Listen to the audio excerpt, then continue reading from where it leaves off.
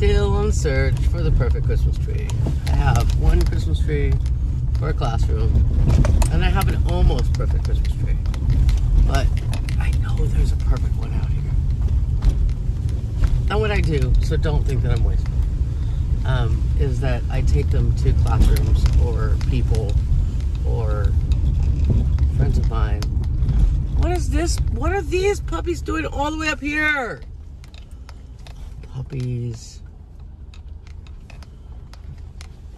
You need to go home. Where'd you come from?